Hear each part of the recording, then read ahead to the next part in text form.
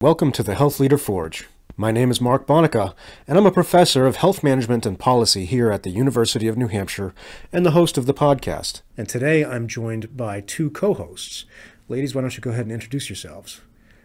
I'm Caroline Sweny. I'm a junior here at the University of New Hampshire, and I'm interning at Exeter Hospital this summer. My name is Regan Judge. I'm also a junior at the University of New Hampshire, and I will be interning at Exeter Hospital this summer. So, who did you guys interview for the podcast today? We interviewed Greg White, the CEO of Lamprey Health Systems. Excellent. And, and what did you learn that you think was really interesting from the conversation with Greg? Um, one piece of our conversation I found to be really valuable was our discussion about mentorship.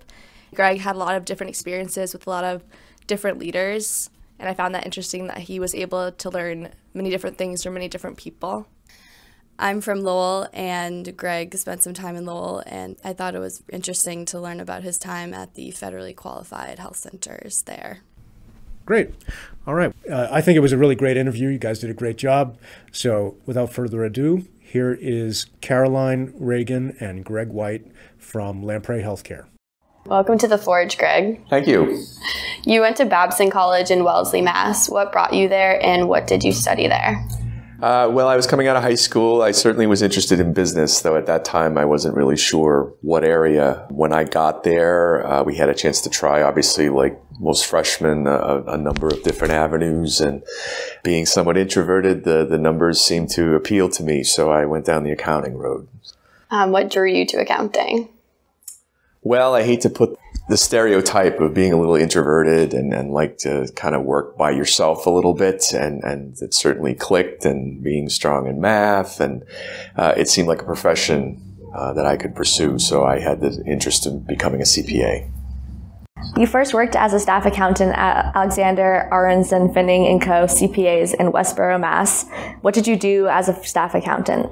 So at Alexander Aronson, I was a staff accountant, but what we did uh, is function as a as an auditor. So I would go out. I spent most of my time out of the office. Uh, I was out at clients doing financial audits where you would basically verify their financial statements, make sure they're presented fairly, do a little business consultation, tax return preparation, uh, cost report preparation. So as it turned out, most of my clients were not for profit. I was a little surprised actually going into public accounting. I was anticipating going out to, you know, State Street in Boston, big manufacturers. All of my clients were inner city nonprofits. Uh, a little, a little eye opening, I would have to say. So. And what did you enjoy most about that position? Well, I got a chance to learn. I got a lot of uh, opportunity to see different communities, the inner workings of, of small social service organizations, and I think it opens your eyes to perhaps some of the ills of our society in terms of the shortcomings of our healthcare system, housing, poverty, things that you, know, you might have thought about, but perhaps hadn't impacted you personally. So uh, it was very eye opening. And actually, I, I forged some great relationships with people I was there. So. Can you give me a couple examples of the organizations you worked with?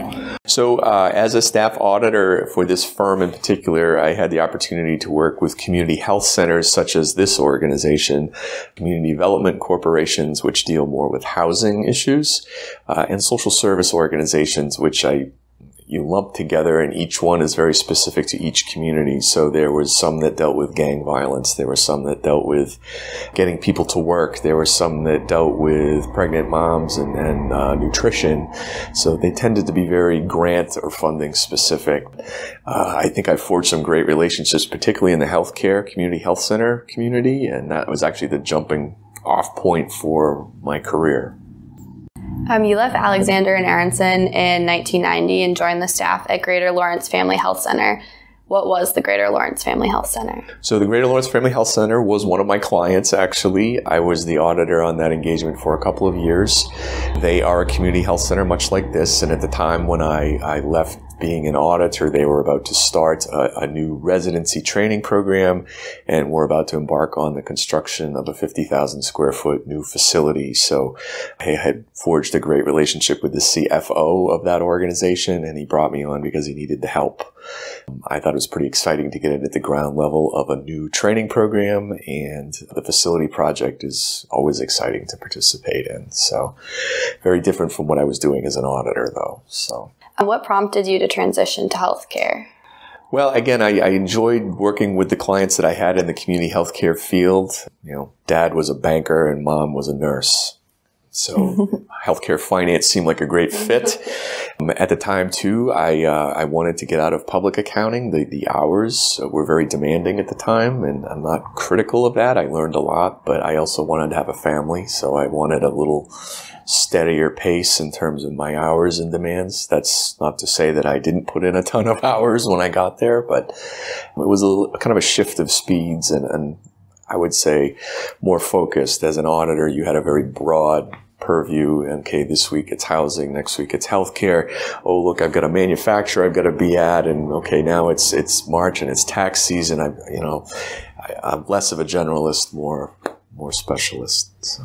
Tell us more about the reimbursement model you developed. So, as I said, we were developing a new residency training program. So, the CFO put it in my hands to come up with a budget that balanced, that incorporated all the costs of the program, that incorporated the added costs of the facility, so that we could leverage what's called graduate medical education funding from the federal government. The challenge being is that funding had to come through the hospital, which was not the health center. So there was a bit of a negotiation there. So uh, I built the model that balanced the budget that included as many of our costs as we could reasonably substantiate. And uh, that's where it started. I think it's a little different today, but I'm very proud to have built that. And um, I, I, remember vividly uh, not showing up to a company event because I was back at the office putting that model together and feeling thrilled when it finally worked. So a challenge that community health centers face is workforce. So when I say workforce, we oftentimes have a challenge attracting, recruiting, and retaining family physicians, so family practice doctors. So where we were unable to buy that talent, we set about to make that talent. So what we would have is a, a training program with 24 residents who are have graduated from medical school, but now have a three-year program of a, kind of getting field experience, know, working under the supervision of other physicians. So typically physicians go through a residency based on their specialty. So this specialty was family medicine. And we see that you held three different positions over your five years. How do you feel you grew in the organization? I think I grew with the organization because while we were building this program and while we were building that facility, the organization blossomed and grew. We brought on 24 residents. That's a huge capacity enhancement. So I grew from an analyst accounting role to a manager role to a controller role as the finance staff grew. So I was very fortunate to have a CFO that trusted me and kind of treated me like his right hand person and encouraged me to to seek training and, and develop me. So that was, I think, my good fortune. So. Um, looking back on your first job, what are some words of advice you have for young people about to enter into the workforce? I would say don't discount the relationships that you're starting now. And when I say that, the people that you're getting to know. So your professors, your colleagues and friends at school, people that you work with, you'll never know when that comes back to help you. So the folks at Alexander Aronson Finning, the CPA firm I started with, I, am still in contact with. In my career, I have crossed paths with them numerous times. I've had the opportunity to refer them as an audit firm. They've had the opportunity to refer me to career opportunities and, and just maintain and build those relationships. Um, you know, 25 some odd years later, I'm still in contact with them and I count them as friends and it has worked well, let's put it that way. So you left Greater Lawrence Family Health Center in 1998 to go to Manchester Community Health Center as CFO. Why did you decide to make this move? So, career opportunity. The CFO in Greater, at Greater Lawrence, uh, I did not anticipate leaving anytime soon, and I had a little bit of ambition and desire for upward mobility. So, uh, the folks at Alexander Aronson Finning were their audit firm and made it known to me that they were looking for a CFO. So this is a fairly small industry, so it's somewhat specialized, so that being experienced uh, in, in a community health center was certainly a leg up. That and it was close to home. Mm-hmm. I'm from New Hampshire, and Manchester was a fairly new community health center at the time, and it was kind of getting off the ground. And 20 minutes from my house. So it's probably not my priority, but uh, certainly being close to home with a small family or a growing family um, made a big impact in terms of my availability and seeing my children. So. but very excited to to take on that role. I think there were some folks that looked at me kind of funny, like, "Is that really the move you want to make?" Because it was so much smaller than the Greater Lawrence Family Health Center. Um, but in retrospect, I'm very glad I did because uh, it helped me start a new network in a different state. So, and that state is my home state. So. Tell us a bit more about Manchester Community Health Center. What is the nature of the organization? What services did they provide, and what community did you serve? So largely, the it, like a community health center in general, it served the underserved population. We had a very diverse uh, population that we served in terms of non-English speaking. We had a lot of immigrants and refugees. So at the time, we had a lo- lot of folks arriving from the Baltic regions, uh, Bosnian folks, Croatian. So we had some language and culture things to learn.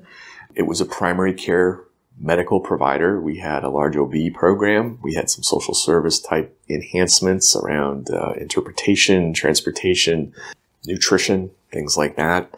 So largely primary care. Um, I would say smaller than this present organization at the time and much smaller than Lawrence when I was there. Mm-hmm. So it was a great opportunity to kind of come in at a high level at a small organization because the exposure you get to things beyond finance. So as I arrived, I got to see things and be in, heavily involved in human resources, legal, uh, operating, you know, true operations of the health center in terms of scheduling and compensation and recruitment and you know it's it's something I probably wouldn't have seen as readily in a larger organization. Mm-hmm. What was this change in executive position like? In that organization in particular, it, it was it was kind of strange because we were small enough where I would find times where I was doing very nitty gritty accounting work, mm-hmm. you know, really in the weeds of the budget, doing journal entries, making the closing every month, doing payroll, things like that. I mean, when somebody was out. And then the next day I might be out in the public with the CEO entertaining a visiting congressman or uh, going to the state to advocate for our funding or you know have some very high profile type of endeavors. So it was quite a, a diverse opportunity there in terms of the realm of things that you'd be working in. You know some days it's you know you're you're not dressed up you get your sleeves rolled up and you're trying to figure out the budget.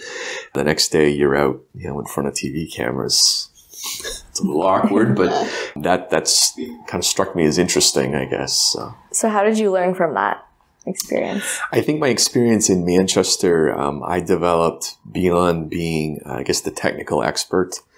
I perfected management skills, or I wouldn't say perfected. I built my management skills. I improved them. And the CEO there really took me under his wing to sh- kind of show me how the organization operates and how board of directors operate and how you interact and how you interact publicly. Kind of the here's the courtesy way to do things. Mm-hmm. Here is uh, we need to be mindful of how we say something and who we say it to. So it was an opportunity to learn, I think. During your time at the center, a new facility was added. How was this a challenge to finance, and what were some challenges of this task? So, in our industry, if you were to take a look at our financial statements and determine where all of our funding comes from, it's either the government, the government, or the government, mm-hmm. which is puts it at risk for politics and budgetary things. So things change. So when you're going to a bank looking to borrow money, they want to understand, you know, how will you assure me that, you know, you'll be able to make the debt payment down mm-hmm. the road when you've got all this Medicaid money, you've got this grant money, you've got Medicare money, and let me understand this. Most of your patients are below the federal poverty level, and a majority of them have no resources at all. So my response was, well, this is not a model anyone would ever set out to build on purpose. But I would tell you that our track record has grown and we continue to grow and the program is stronger than it has ever been. And uh, I would say it was fairly unique for me because I was the only finance person in the operation aside mm-hmm. from some bookkeeping folks.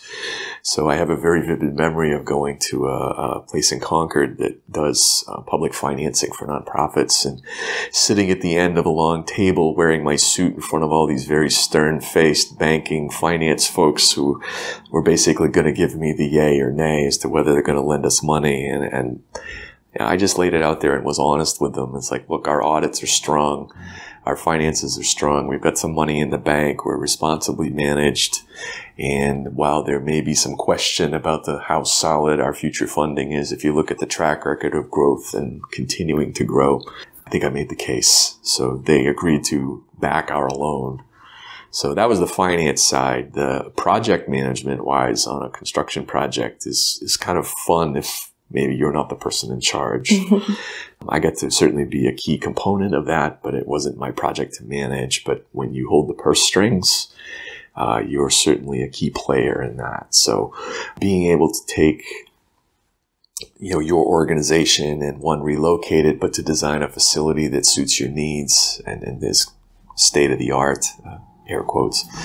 um, I think it's pretty exciting, and and to see it come from nothing to the day we moved in, to, to you know the big ribbon cutting and all mm-hmm. of that, I think is very rewarding. After working for the Manchester Community Health Center for 12 years, you moved to the Lowell Community Health Center in Lowell, Mass. First off, what is this organization like? So, similarly, another community health center, but much larger than Manchester, and I would say more reflective of the Lowell community. So again, very diverse, but uh, more so with a Southeast, Southeast Asian community, a lot of Cambodian folks, a lot of Spanish folks. There's a growing African community there. So arriving there and getting back to my building networks, the CEO of that organization is someone that I used to work with in Lawrence who needed a CFO who needed somebody to come in and one, take hold of the financial operation, but two, get them ready for a major capital project where they would be consolidating five sites within the city into one large rehabilitated mill building. So very complicated financing proposal in terms of government grants, government loans, tax credits, which is god awful complicated, but she needed somebody who could come in and knew the knew the industry already. So um, I took it on as a challenge, as a growth opportunity, as a much bigger organization, and I looked at it as very challenging. But the challenges are something that you learn from. Yeah, um, I'm from Lowell. I'm just oh, curious. Really? Yeah, I'm curious. What um, mill was it? One, a Lancet Mill building on Jackson oh, yeah. Street. So yeah. right now there's a there's an artist's housing next door, and I think there's housing on the other side. Yeah. So it's right across from the new. Well, it's not new now. The parking garage. Yeah, yeah. They've done really cool things with those mills. Yes, they but, are. Very um, much. So it was at the time of rapid expansion that you mentioned? Yes, quite a bit. So not only were we moving people from multiple sites into one building, but we were growing. So I think we added about 100 staff in the four years that I was there. So we went from about 250 staff to 350. And actually, I think they're over 450 now and growing more. Um, in 2013, you came to Lamprey Healthcare. Can you tell us about Lamprey as an organization? So, we are also a community health center, though I would say very different than Lowell, um, where Lowell is uh, an inner city uh, type of operation and very concentrated on the say the eight surrounding communities in Lowell Center. Uh, Lamprey is both an urban and a rural operation. So we have three sites, Nashua, Newmarket, and Raymond. Uh, as you might imagine, relatively speaking, Nashua is our urban site and very diverse.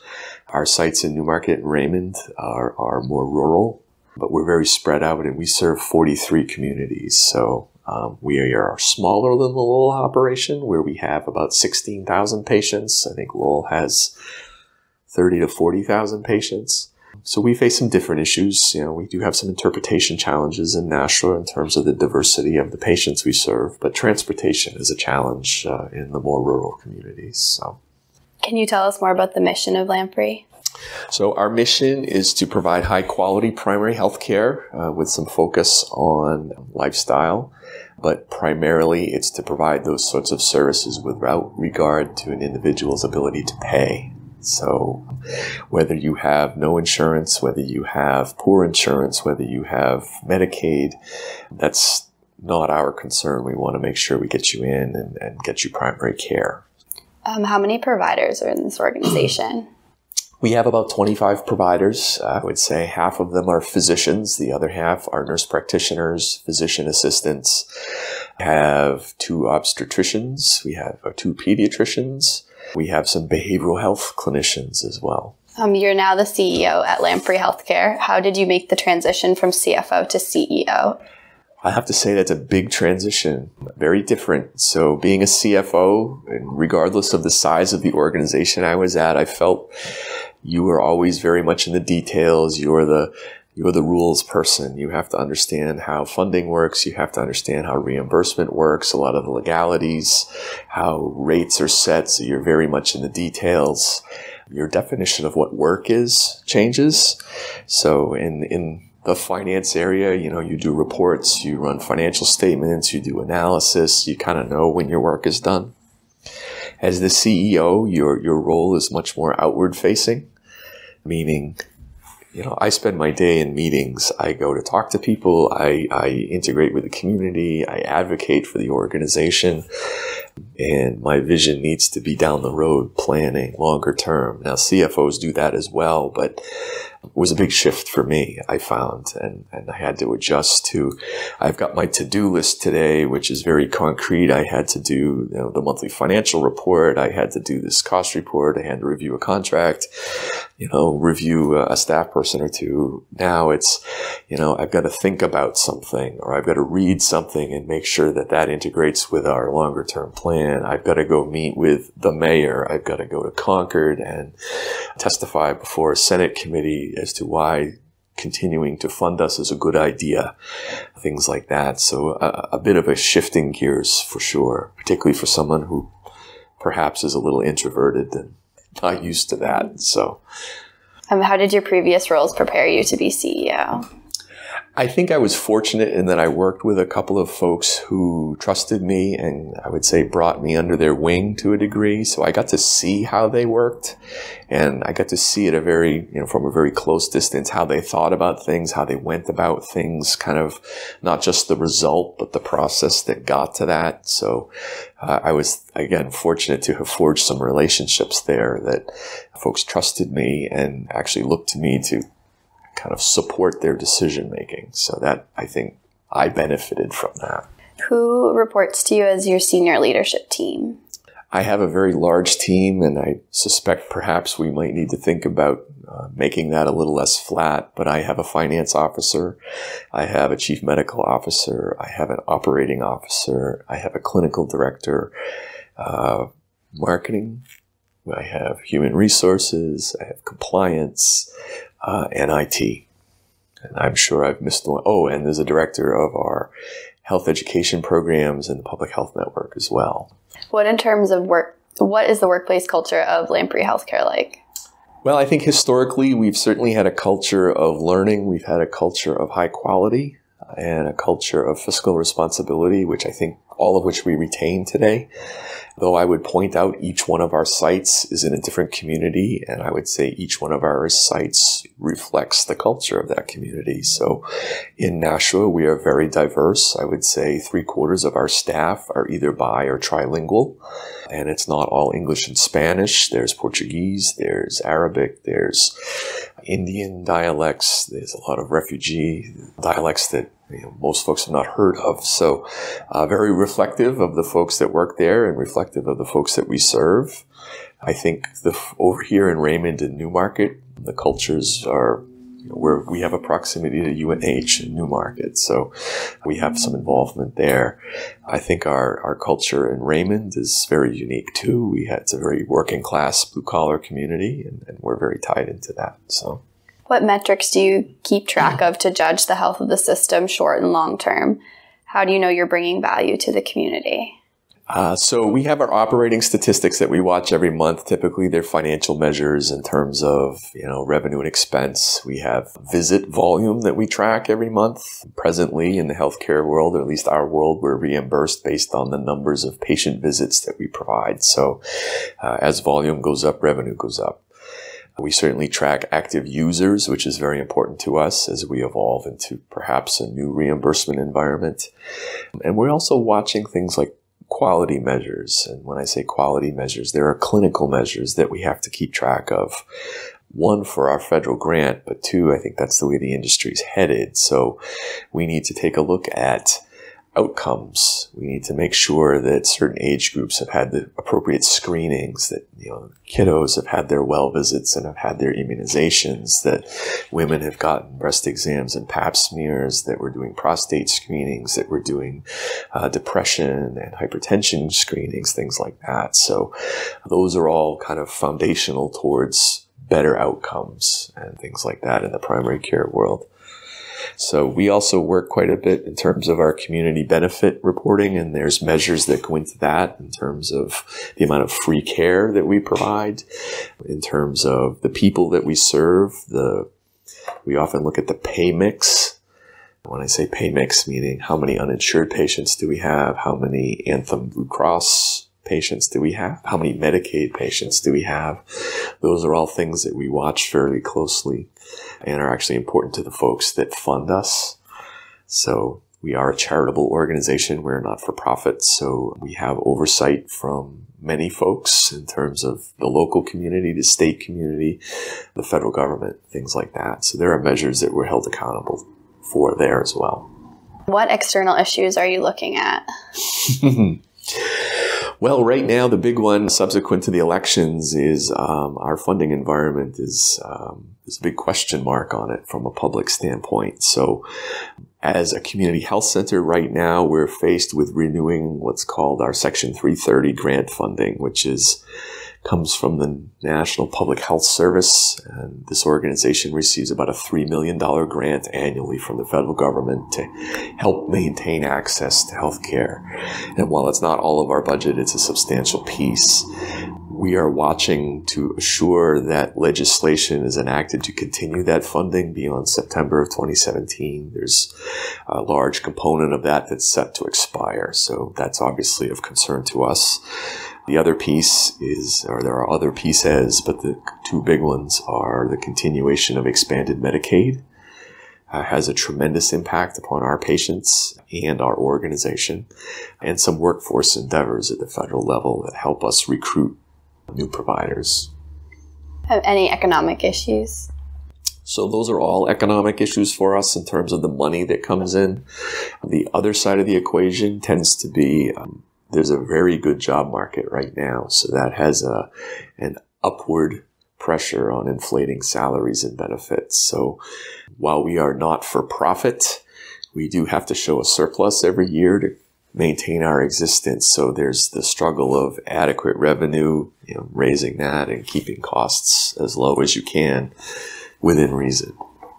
So. Um, how sensitive is, is your organization to fluctuation in those measures? Hugely hugely sensitive. Certainly, our payer mix is very important. So, where you might get paid for a visit at, let's say, $100, that's a commercial payer, you might get paid as a community health center $150 for a Medicaid visit, and you might get paid $10 for an uninsured visit. So, those, those are very important to watch. You know, certainly the quality measures are important to us. And while the result from a funding or economic standpoint is not immediate long term. We're oftentimes incentivized by our outcomes. So the better the outcomes, an opportunity exists from time to time to enhance your revenue or to share in the savings in the system. What do you see as the biggest health policy issues facing healthcare today, and how do those affect Lamprey and the communities you serve? Well, certainly healthcare as a whole, uh, you're aware of the ACA or Obamacare and moves to change that at the federal level. It's certainly not a perfect legislation, but what it did was set about to make sure everyone had insurance coverage. There are aspects that are challenging, I understand, but changes to that will have a profound impact upon us. And depending on how far back that gets rolled in terms of either reduction of benefits or reduction of funding, uh, obviously will land on us fairly hard uh, if it's if it's in any way a reduction. Uh, we are also very dependent upon grant and contract funding that come from the state and federal government as well. So where there's budgetary pressures uh, in those arenas, those numbers tend to get squeezed too. So again, the revenue side as revenue shrinks, I, I have to think about um, expense side.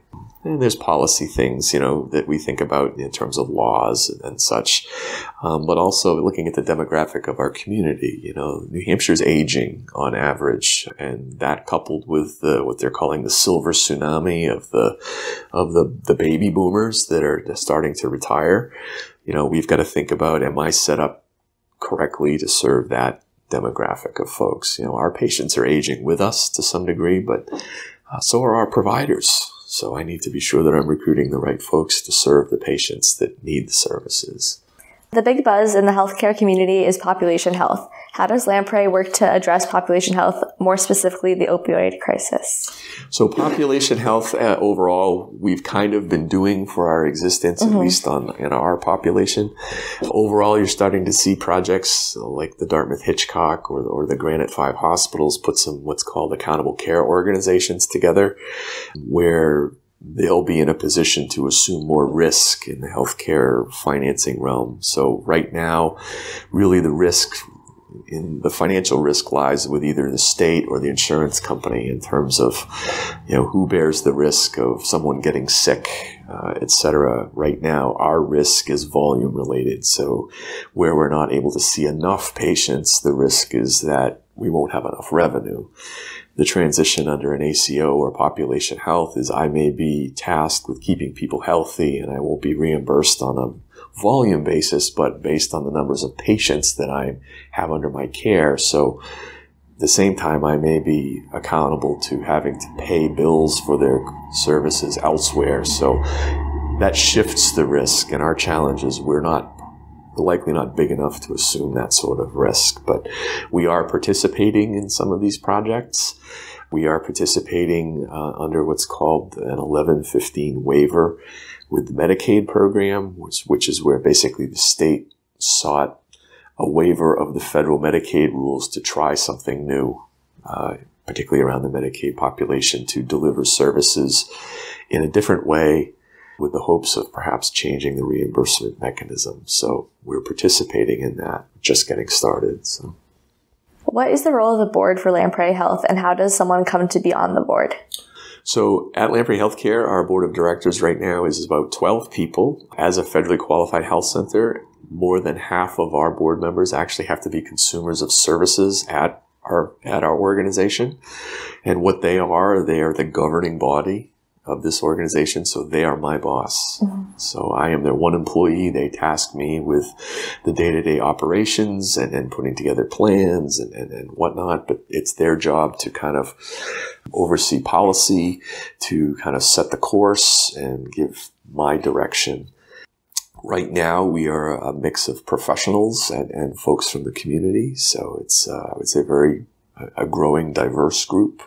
Great. How do you develop a strategic plan so that Lamprey will continue to be successful with all of the uncertainty in the marketplace? So, with all the uncertainty in the marketplace, oftentimes your strategic plan might be short or a little vague in the out years because things are changing. So, we're in the midst of a strategic plan right now that that purposely kept it vague so that we could uh, we couldn't anticipate what the changes would be, mm-hmm. but we knew we had to grow the numbers of patients that we're serving. So that I think would hold true regardless of where we ended up in the marketplace. We wanted to work at workforce. We wanted to work at raising our, our profile in the community, strategic relationships, particularly along the, the ACO conversation we just had. So we're working closely with some hospital organizations. We're working closely with some mental health organizations. The 1115 waiver projects are tying in the opiate epidemic and with that too. So that's our current plan. I think setting a course, I think once some of our funding environment settles down, will probably happen about the same time when we're about to start our next plan. So in healthcare, it's hard to plan too long term. But we do sense that, you know, obviously there's workforce challenges. There's the shift in demographics in the environment of patients you know, where everybody now has insurance, competition means a little more. Where previously, when there was a lack of insurance, you know, people weren't necessarily competing for the patients we were serving. So, mm-hmm. how do you motivate your employees as the CEO? That's a hard one. Um, I, it, it's difficult. You know, certain uh, different people are motivated different ways. Certainly, engaging folks and, and letting them participate uh, in in the process to develop plans, to be communicative, be heard. I, think is important. I certainly don't think people appreciate you know the suits showing up and you know here's mm-hmm. what you mm-hmm. got to do. I show up and it's like, well, I need to hear from you what our needs are. I need to hear from you what are the issues in the community so that we can use that information to build a program that is successful. You know, some of the, the way we used to do things perhaps isn't as effective now, but that may be a generational thing. People's lives are very busy, so getting together after work isn't as easy as it used to be. Mm-hmm. I think most folks have a uh, both parents working in the, in the household now, so people are very protective of their free time. So it's hard to plan things off hours, you know, to have the outings and things. You know, people maybe aren't as interested in that, but people people appreciate recognition too, but uh, oftentimes in different ways. Mm-hmm. So. And what is the most important thing you've learned from the role of CEO? I think it's important to understand that your mission comes first and as as I've developed a little bit, you need an inspiration behind what you do. It's not a job, you know. As the CEO, you you've got to be the cheerleader. You're the chief marketing officer. You're the you're the you're the face when something goes well. You're the face when something doesn't go well, and that it's a team effort. You know, this organization is not what it is because of what because of me. It's because of the people that I work with, mm-hmm. and I think they need to be recognized for that.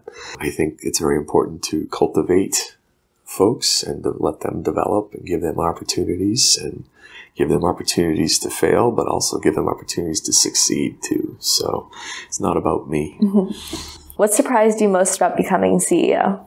I had the biggest adjustment to getting used to what the definition of work is. Mm-hmm. And, you know, I come to work and I go to meetings and, you know, I say that kind of facetiously, but that's my role and and I, I rather vividly remember arriving here three and a half years ago, and within the first two weeks of being here, being asked to show up in Concord to testify before some committee about our funding, and absolutely unprepared for that.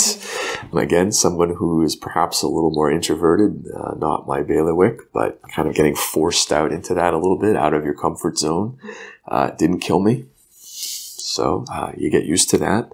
People certainly look to you for your response and cues as to how to respond to things and, and how to act. But again, you surround yourself with professionals and, and you know, give them a chance. But so I, I, would say my style is a little less out in front than some leaders, but uh, I certainly surround myself with folks who know what they're doing and, and help me be that person. Mm-hmm. As a CEO, what keeps you up at night?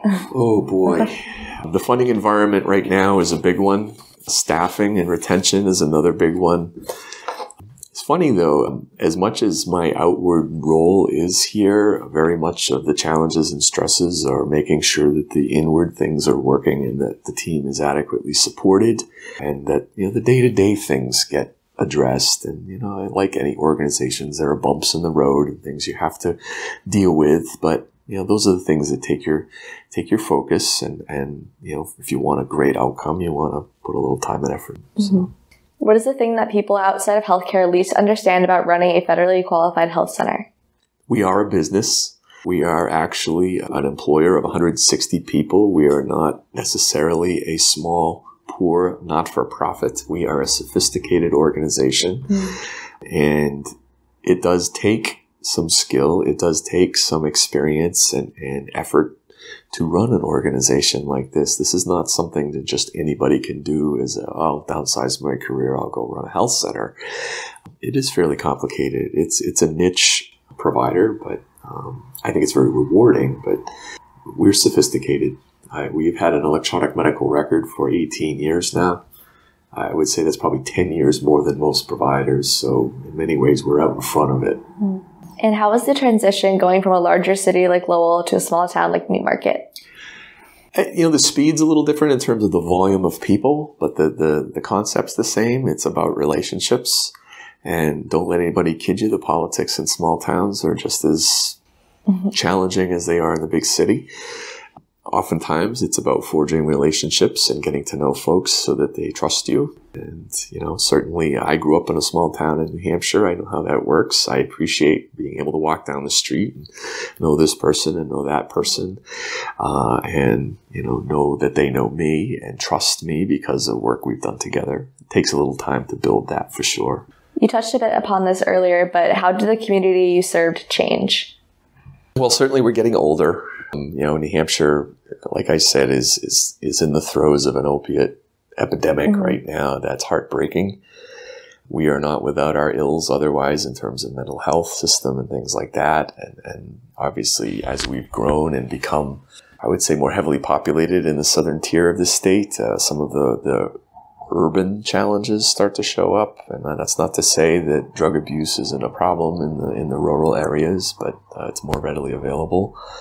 Coming from a small town, people oftentimes kept their business to themselves, and the problems of alcoholism and domestic abuse and mental health were kind of mm-hmm. kept to the side. I think perhaps now those things are starting to come to the fore as gosh if we can help you the, the outcomes are you know they help you with your employment they you know it's a community challenge so we're starting to see more of that i guess people more willing to talk about it mm-hmm. um, and, and our community in southern New hampshire is becoming more diverse and, and actually i'm pretty excited about that how has healthcare changed in the time that you've been working in the field Certainly, with Medicaid expansion in the last few years, we, we've been better funded as a community health center, we've seen, we've enjoyed a lot of growth. Very pleased with the fact that, you know, this movement started 50 some odd years ago.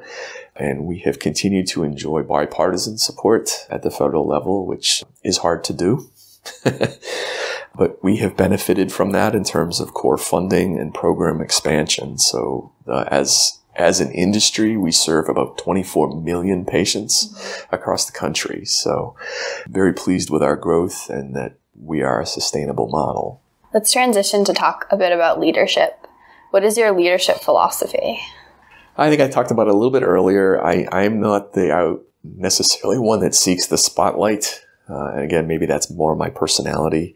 I tend to like to surround myself with people that are the experts and in the know. And if you need to be need me to be out in front, I will do that. But I also want to highlight the folks whose skills and talents that that are getting us to where we are. So I tend to be. I like to relate to folks. I'm a regular person. I'm Greg. Um, if anybody ever called me Mr. White, I look behind me to look for my father because I'm not that. I am very, actually very mindful of the suit and tie when I work in some of our buildings because I don't want to intimidate people. You know, I obviously you have to dress the part some days in terms of what you're up to, but you know, there's Fridays where you wear the dress down and you just kind of blend in and talk with folks and have a you know relationship, talk about the Red Sox, you name it. You know, I'm, I'm one of the I work here too. I'm part of the team. My job just happens to be out in the community. Mm-hmm. You know, I'm very proud of the folks that deliver care here.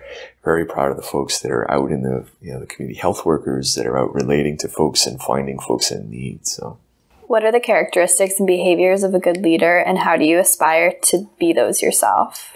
I think a, a good leader, you know, you've got to you've got to show the it's half perspiration in terms of demonstrating hard work and, and commitment, but there's a, there's the other half is inspiration, and uh, it's very challenging to be an inspiring person unless this comes naturally to mm. you. Like some of our political leaders are very good speakers and can be very inspiring that way. I've never considered myself to be that, um, but if you speak from the heart and demonstrate that things are meaningful to you, people get that message. So certainly showcasing folks that are the success stories here are, are very proud to do that in terms of my leadership style.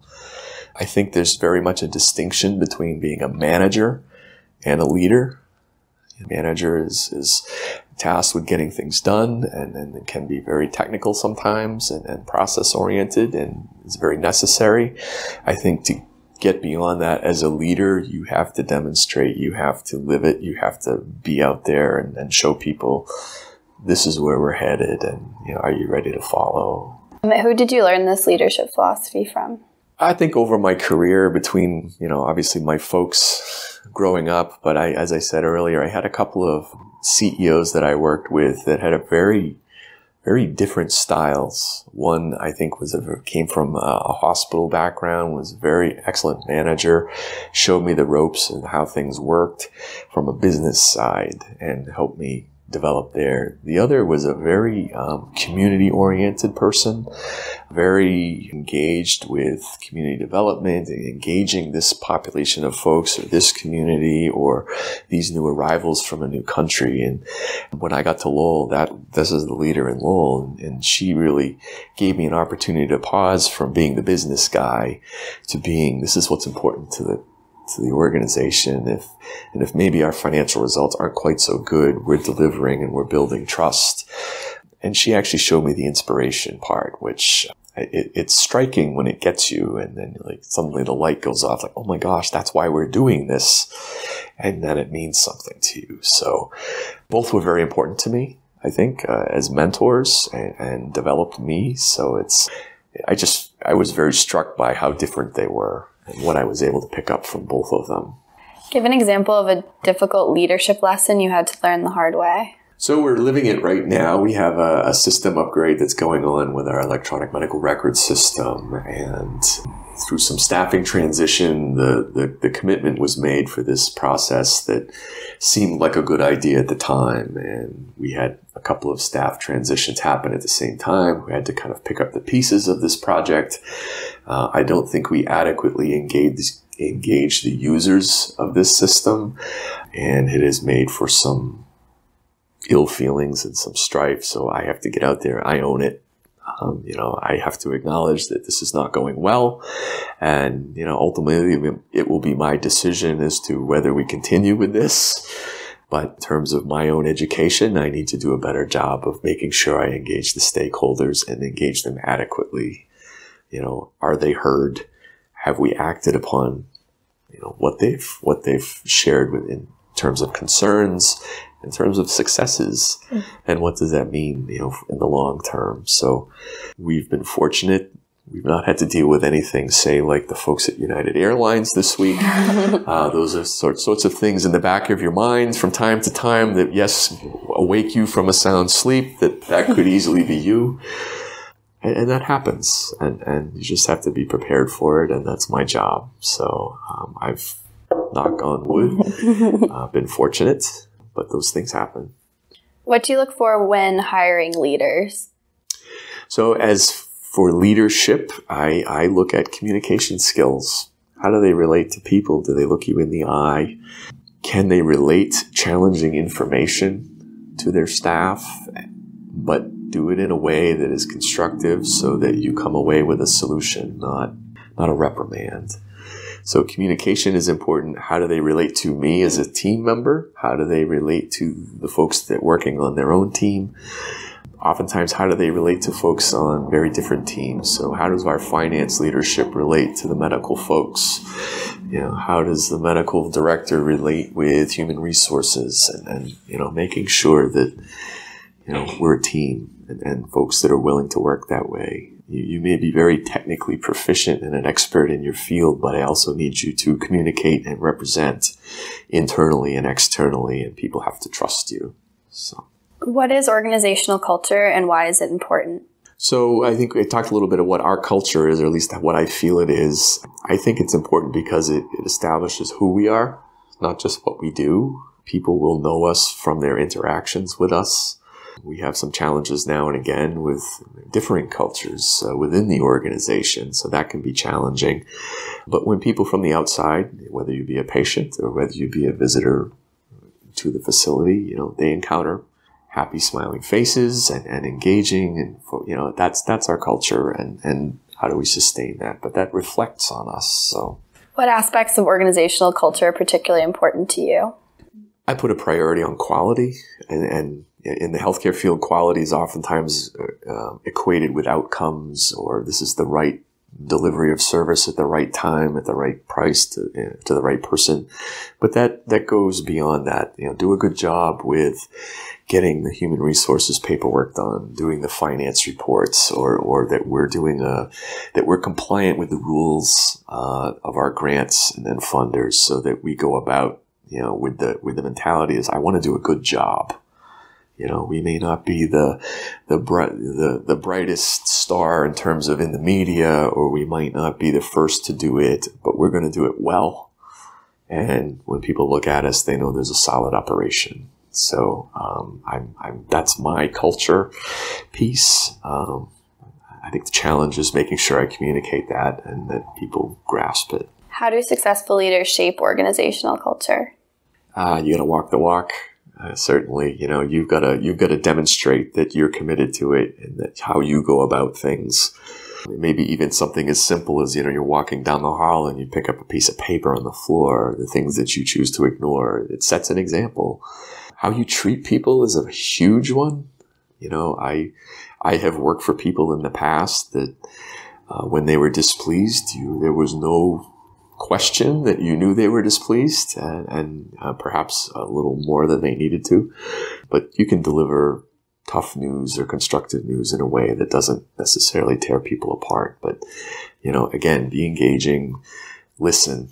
That's a big one right there. Did you have a mentor or mentor mentors early in your career? So yeah, the two CEOs that I spoke to, one of them, uh, the, the, hard part I think for the two mentors that I had is they were actually my boss, which is not something I would necessarily recommend. Oftentimes, you know, you might have some conflict or struggle in your career. And if it's with your boss, it's not really going to work to go talk to them. I mean, it is going to work to talk to them, but they're not one that they can advise you, give you advice on mm-hmm. the situation. So, but, uh, the, the, first fellow took me under his wing and purposely, and, and that was part of his own developments. He wanted to be a mentor and I was really interested in, in developing my career. So that worked well. And I think this, this woman that subsequently, maybe a little less formally, but she was very, a very good teacher in a very subtle way that, you know, helped me adjust from being the finance guy to having a broader perspective. So I think I've benefited tremendously from having the guidance of both of them. And I'm still in contact with them and I still make it a point to have lunch with them. Uh, they're both retired, but I still go back and I bounce things off them like, wow, I hadn't anticipated this challenge. You know, when you were doing this role, how did you do this? And then there's always tidbits that, you know, or, or things that they, they uh, suggest to me. And there's a few sayings I always remember. And one of them was like, I was worried about how do you do everything or how do you get to know this or that in, in terms of the community. And the advice was, you know, half the battle's just showing up. You know, people will get to know you. You'll start to learn what's going on and, and it'll evolve. Um, there were a few others I won't share, but again, they were very different. And that, that's the part I think I, I, enjoyed the most is that they weren't necessarily coming from the same background and they weren't necessarily styles were very different, very different. like the, each one of them, you, you wanted to make sure you did a good job, but for different reasons. What does a good mentor do? Listen, tries to take some of the emotion out of the situation and be objective. So, you know, obviously if, if you're needing some guidance, there's something that you're either unsure about in, in, uh, in tackling a problem or a project. Oh my, oh my gosh, I'm overwhelmed. You know, I, I find that relaying, yeah, I've been there. I, this is what I did and this is what didn't work or this is what did work for me. Now you're a different personality than I am. It might not work for you, but sometimes it's a, I think you really do know what the answer is. It's just making sure that the mentee really understands that or has the confidence built in them to go about it. I, I always found it was the, it wasn't so much coming up with the right answer. It's the, how do you go about affecting that? And, and you know the impacts that it will have and have you considered this? It's like oftentimes you know the right answer might be obvious though you might be painful to have to deal with you know. You really need to break that relationship with that other organization or you know that staff problem you've been talking about i think we both know what the answer is there. You know time to get on it kind of thing. So yeah it, it gives you a little boost a, a kind of a, a boost of confidence i would say how important is the mentor relationship? In retrospect, I think it was hugely important. At the time, you know, you're busy and you don't maybe don't realize it as much. Um, and, and, you know, it doesn't fit all situations too. You know, it's it, it may be very specific to a project. It may be very specific to your career, but you know, early in my career, I was not in that mindset. You know, I, I wanted to be promoted. I wanted to make more money. I wanted a little more prestige, but you know, it wasn't so much the big picture problems that I face now. It's the how do I get to this job? Mm-hmm. And, and yeah, there was some some guidance from your peers and those that are doing it in front of you, but I wouldn't really call that mentorship necessarily. So, how important are professional associations for development? So, getting back to the networking piece, I said early on, uh, yes, I'd say they are fairly important, though I wouldn't say they're the be all and end all. I belong to the Healthcare Financial Management Association. Mm-hmm. I belong to our State Trade Association and our national. Now, there's a lot of networks there that kind of happen because of that, but a lot of these folks I would network with anyway. Mm-hmm. Though it does open doors and connects you with people you might not have met. So, you know, your state gets a lot smaller when you belong to an association because mm-hmm. you're you're meeting these folks and suddenly, oh yeah, you recognize the fellow's name in the paper or, or I work with that woman on a project or on a committee and suddenly like, oh yeah, I can call them. It's no problem. If you had to pick one book that early careerists who aspire to senior leadership should read, what would it be? So I don't have a book I would recommend. I tend to read for pleasure and not for work so much. Um, but what I would say is pick a leader that you respect. Now they may or may not have a book, but um, their style might appeal to you. And, and, you know, take a look at it that way. You know, in terms of business books, I've always enjoyed reading Warren Buffett's books, but that's more about mm-hmm. investing than leadership. But he's got a little plain spoken style about him, and he's an expert at what he does. But he's fairly simple in some ways. So it kind of goes about things for the long term and not the immediate hit, which I think would benefit a lot of us. But so, but I don't really have a recommended book for, mm-hmm. say, somebody coming out of college. Go out and see the world a little bit, get a job, and watch people. Watch, watch a manager, and, and kind of evaluate how are they treating me, how are they treating people around them, how are they treating their peers, and then watch the leader of the organization and, and just does that fit me? Is that my personality? Or mm-hmm. do you think that worked?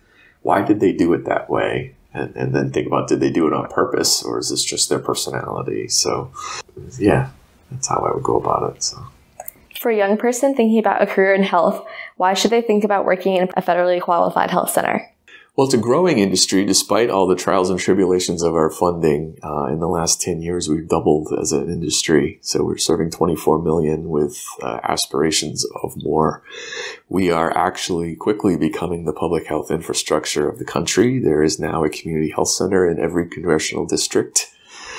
And while we don't serve the lion's share of the folks in New Hampshire, we are fairly well distributed it continues to grow, and particularly as there's uncertainty in our funding environment globally, excuse me, uh, nationally, as to how sustainable employer sponsored health insurance is. We're here, and there's going to be more of us. We're going to be bigger. We've now in Many of the centers not only our primary care, but they're dental, they're behavioral health. We're looking at vision programs. Uh, oftentimes there are other ancillary programs that work with that in terms of job training, substance use treatment, you name it. So um, we're quickly becoming uh, a public health infrastructure and I think a social service infrastructure in many ways too. Lastly, what kind of training and education should someone pursue if they're thinking about getting into a federally qualified health center? So I would see in terms of leaders that are coming out that are going that are that are in community health now. Oftentimes they'll have a social work background. They might have a, a nursing background. There are a few of us with a financial background. Once in a while, you might have a, a public policy or or or you, uh, a legal background. Uh, I've seen that.